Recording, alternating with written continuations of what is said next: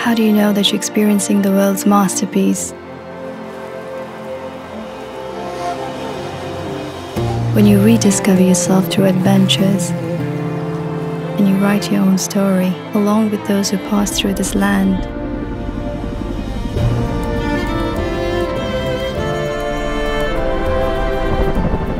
When you soak in the beauty of its landscape and appreciate the history carved on its rocks and its peaceful, serene environment. When you let yourself go under the stars and take home cherished memories. Live the world's masterpiece.